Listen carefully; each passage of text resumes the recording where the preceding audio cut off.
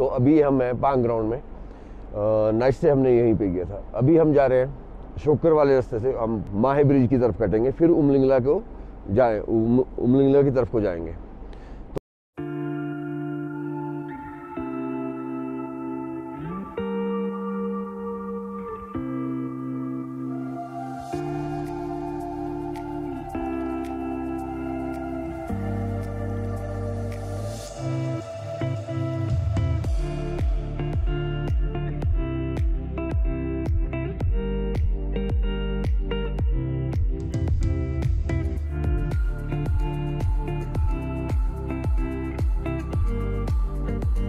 ये सामने आपको शायद दिख रहा होगा कैमरा में रास्ता, ये शोकर के लिए जाता है। तो यहीं से कहीं से ट्रैक होगा शोकर के लिए जाने के लिए। तो अब हम यहाँ से शोकर के लिए मुड़ेंगे। ये स्लो स्लो स्लो ये ट्रैक है। ये नीचे।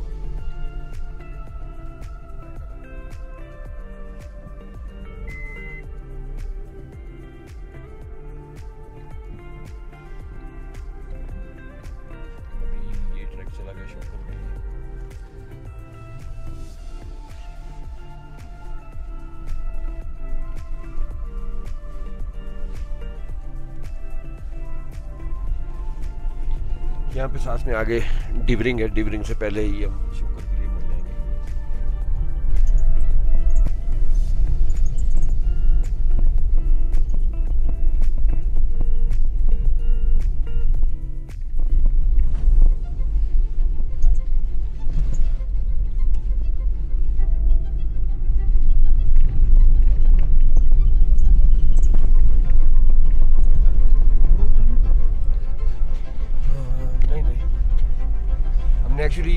सामने वाला रोड है, उस पर मिलना है, वो पकड़ना है। आप किसी भी किसी भी ट्रैक पे चले जाइए, हमने उस रोड पे मिलना है। वो जो उधर रोड दिख रहा है आपको, वो ट्रैक भी उसी रोड पे आगे जाके मिल जाएगा। तो पहले यहीं से, कहीं से उस रोड पे मिल जाएँगे।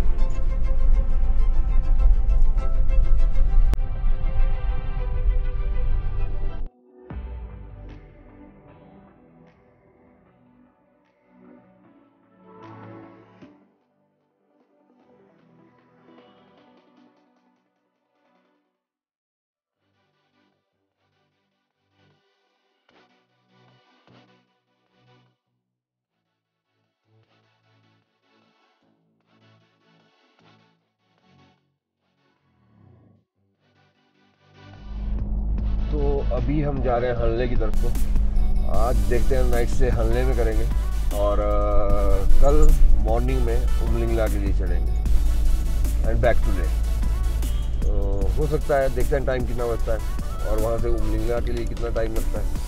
उसके ऊपर डिपेंड है। तो हो सकता है हम आज भी चले जाएँ उमलिंगला। हल्ले पहुँच के ही डिसाइड किया जाएगा कि क्या करना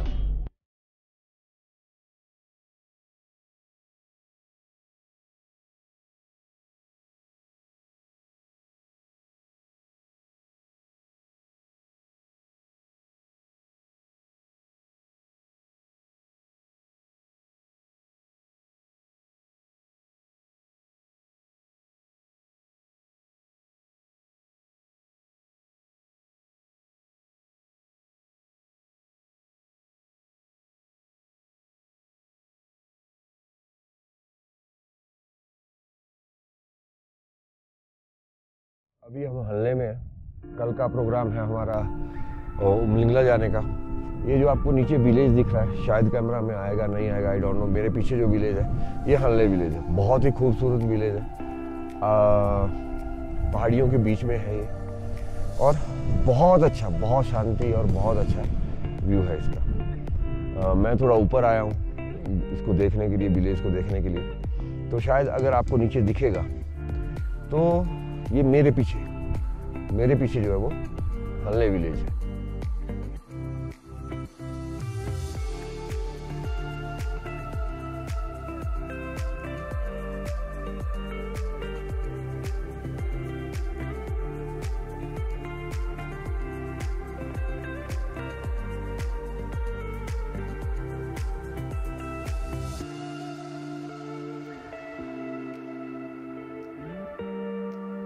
कल हम पहुँचे थे हल्ले।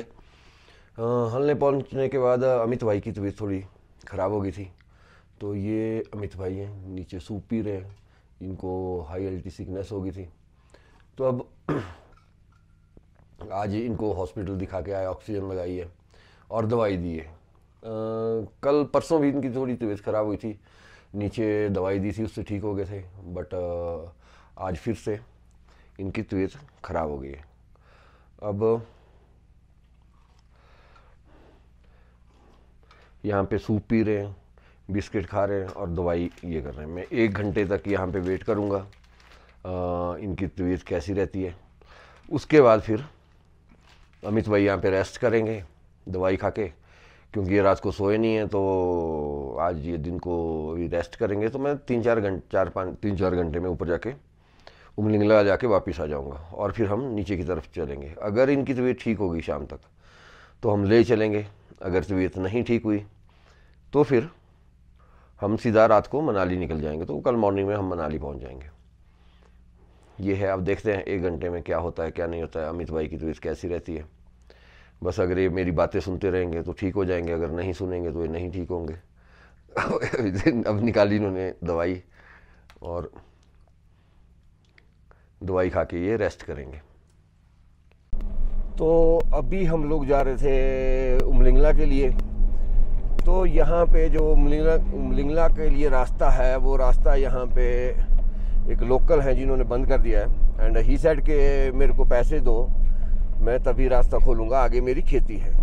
एंड ये देखिए आप, ये रास्ता ये रास्ता इन्होंने यहाँ से बंद कर दिया था। इन्होंने सौ रुपये लिए।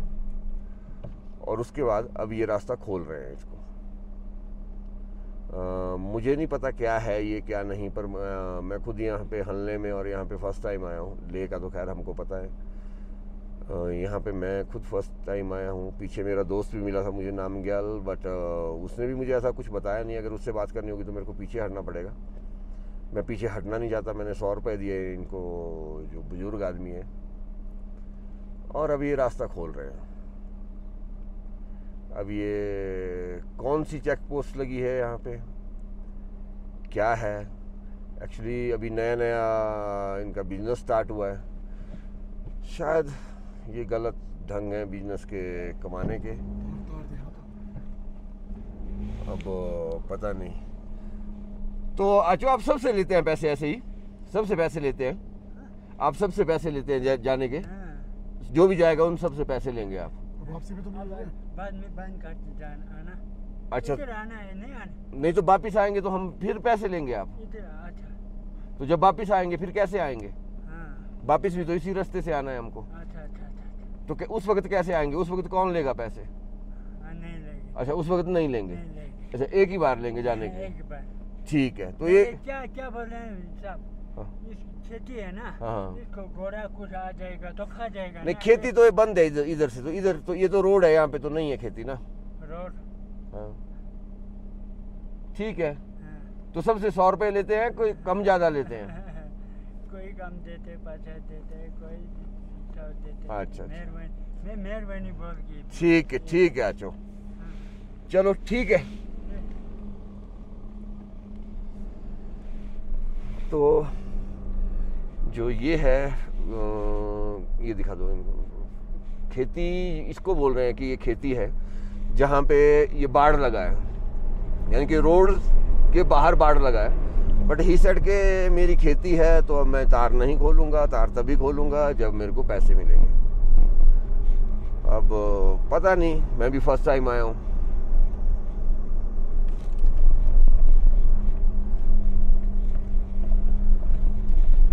अब पता नहीं, मैं भी फ़र्स्ट टाइम आया हूँ, मैं खुद पहली बार उमलिंगला जा रहा हूँ। तो ये है कि नहीं है एक्चुअली मुझे लगता है कि उमलिंगला खुलने के बाद इनका नया नया बिज़नेस स्टार्ट हुआ है। तो सबका जिस होम स्टे में थे, पद्मा होम स्टे नाम था, वो लेडी का वे ऑफ़ टॉकिंग उनका बिल्कुल ठीक नहीं था। मैं मॉर्निंग में उठा तो कुछ बाइकर थे केरला के, वो, उनकी आपस में बहस बसाई चली हुई थी। मैंने ज़्यादा केयर नहीं की, ध्यान नहीं दिया। उसके बाद एक कपल था, एक बेटी थी उनकी साथ में। मे, मेरे ख्याल वो कलकत्ता साइड के से बंगाली लगे मुझे। फिर उनके साथ भी वो लेडी की बहस बसाई हो रही थी। आ, अमित की थोड़ी तबीयत ख़राब थी तो मैंने बोला हम एक डेढ़ घंटा रेस्ट करके फिर निकलेंगे। एंड सी साइड के 10 बजे आपका चेकआउट है तो आप 10 बजे चेकआउट करिए और जाइए। मैंने समझाने की कोशिश करी उसको लेडी को कि तबीयत ख़राब है। हम थोड़ा लेट निकलते हैं बट वो बहुत रूडली और बहुत ही अजीबो गरीब ढंग से बात करी उसने। फिर मैं समझा कि वो पहले वो बाइकर के साथ लड़ रही थी तो क्यों बहस बसाई हो रही थी? बाइकर गुस्सा कर रहे थे उसको। और फिर वो बंगाली फैमिली थी, वो उनके साथ कुछ हुआ था। मैंने तो खैर उनको कुछ नहीं बोला, उन्होंने बोला, दस बजे चेकआउट करना है। मैंने पेमेंट करके हम दस बजे चेकआउट कर गए। बट उनका जो बिहेवियर था वो अजीब गरीब था। मतलब ऐसे तो मुझे नहीं लगता कि कैसे कर पाएँगे ये लोग। आई डोंट नो क्या है, क्या नहीं है। हो सकता है मैं गलत हूँ।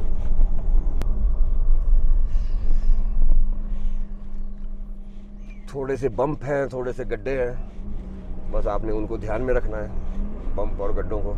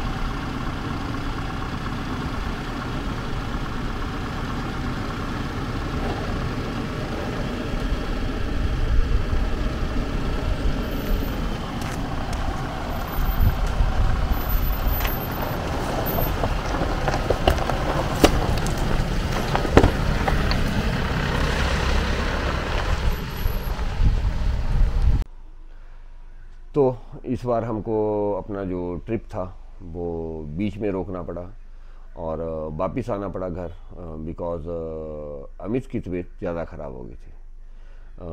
अमित को ऑक्सीजन की प्रॉब्लम हो गई थी। तो इसलिए हम जल्दी वापस घर आ गए। अब प्रॉब्लम क्या आई? अमित को जो प्रॉब्लम आई वो ये थी कि उसको ऑक्सीजन की कमी हो गई अमित को। आ, क्योंकि जब हम हलने में पहुँचे तो वहाँ पे जो आर्मी के जो डॉक्टर थे उन्होंने बताया कि यहाँ पे ऑक्सीजन लेवल सिर्फ़ फाइव परसेंट है। तो नेचुरली उस फाइव पाँच परसेंट ऑक्सीजन लेवल में सरवाइव करना बहुत थोड़ा सा टफ काम है। आ, अमित की तबीयत बहुत ज़्यादा ख़राब हो गई मतलब पहले रात को वो पूरी रात सो नहीं पाया। मॉर्निंग में जब हॉस्पिटल गए तो ढाई से तीन घंटे ऑक्सीजन चढ़ाई इंजेक्शन लगे मतलब गोलियाँ दी।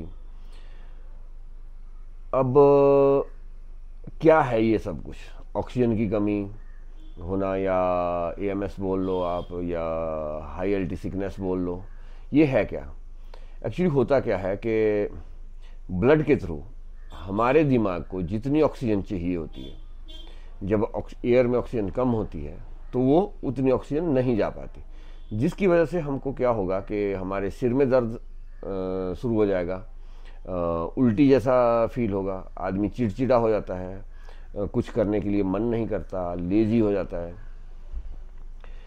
अब ये जो हाई एल्टी सिकनेस बोलते हैं, या ऑक्सीजन की कमी बोलते हैं एएमएस बोलते हैं, ये चीज़ क्या है? मैं कोई डॉक्टर नहीं हूँ, ना ही बहुत बड़ा एक्सपर्ट हूँ। पर हाँ इन रोडों पे, इन जगहों पे चलते चलते अब थोड़ा सा आइडिया हो गया है कि कहाँ ये प्रॉब्लम कैसे आती है। जहाँ तक मैं समझता हूँ, उसमें होता क्या है कि हमारे ब्लड के थ्रू जितनी ऑक्सीजन हमारे दिमाग को चाहिए होती है, जब हम हाई एल्टी में आते हैं, जब हम जहाँ पे ऑक्सीजन कम होती है, वहाँ पे आते हैं तो उतनी ऑक्सीजन हमारे दिमाग को नहीं पहुँचती। तो जिसके कारण आदमी थोड़ा चिड़चिड़ा हो जाता है, सिर में दर्द, उल्टी जैसा फील होता है, लेजी हो जाता है। तो ये सब प्रॉब्लमें आना शुरू हो जाती हैं। कई बार स्ट्रोक भी आ सकता है इस कंडीशन में, क्योंकि ऑक्सीजन लेवल बहुत कम है। तो इसका इलाज क्या है? अब जहाँ तक मैं समझता हूँ, वहाँ तक ऑक्सीजन सिर्फ़ दो जगह पे है। एक एयर में ऑक्सीजन है, जो ऊपर आके जब आप हाई एल्टी में जाते हैं तो वहाँ पे जो कम हो जाती है तो एक एयर में ऑक्सीजन है, जो कम हो जाती है हाई एल्टी में। और दूसरा, पानी में ऑक्सीजन है। और कहीं पे ऑक्सीजन नहीं है।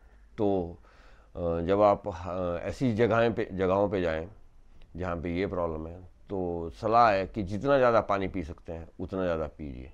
क्योंकि आपको ये समझ में आ गया है कि एयर में ऑक्सीजन कम है। जैसे कि आर्मी के डॉक्टर ने बताया कि हल्ले में ऑक्सीजन लेवल सिर्फ़ फाइव परसेंट है। तो आप जितना ज़्यादा हो सकता है, पानी पीजिए। दूसरा, अगर आपने दवाई लेनी है, जैसे डाइमॉक्स या समथिंग कोई भी टेबलेट लेनी है तो वो आपको वहाँ पे चलने से पहले 24 फोर आवर पहले स्टार्ट करनी पड़ेगी। अब डाइमॉक्स क्या करती है? वो आपके ब्लड को पतला कर देगी, आपके ब्लड का प्रेशर बढ़ा देगी स्पीड बढ़ा देगी तो जितनी ऑक्सीजन चाहिए होगी तो उतनी मिल जाएगी। या फिर आप पानी पीजिए। यही दो कंडीशन है कि आपको आप उस जगह पे सरवाइव कर पाएँगे। तो अपना ध्यान रखिए मतलब कुछ बातों का ध्यान रखिए, डॉक्टर से सलाह लीजिए कि क्या करना है, क्या नहीं करना है। और अपना टूर या जब आप घूमने के लिए जाएँ तो अच्छे से घूमें। हमारी तरह बीच में से वापस ना आना पड़े। और आप जुड़े रहिए हमारे चैनल के साथ। अभी और बहुत सारे एडवेंचर होने वाले हैं, बहुत सारी चीज़ें हैं जो आने वाली हैं। और आपने हमारा वीडियो देखा, इसके लिए थैंक यू बहुत बहुत धन्यवाद आपका। बस ऐसा ही प्यार बना के रखिए। Thank you thank you very much